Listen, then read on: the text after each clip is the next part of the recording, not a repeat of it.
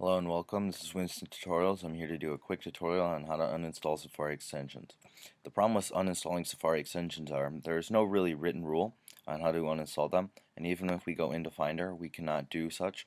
Uh, there are some programs to uninstall them but they do take a significant amount of time and they can cost money.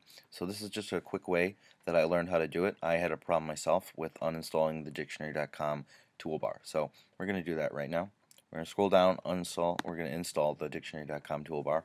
And as you see, we have the toolbar right here. But if we want to uninstall it, there's no way to get rid of it. Uh, if we right click, it only says reload, and there's no X anywhere on here. So if we go up to uh, Safari and we go up to preferences, we are left with the extensions uh, preference area. Now it might be selected on a different area, but just scroll over to extensions, and right here you have uninstall. we're just going to click uninstall. And it's as simple as that. And now the toolbar is gone, it's uninstalled, and it should be good. So thank you, please like this, and goodbye.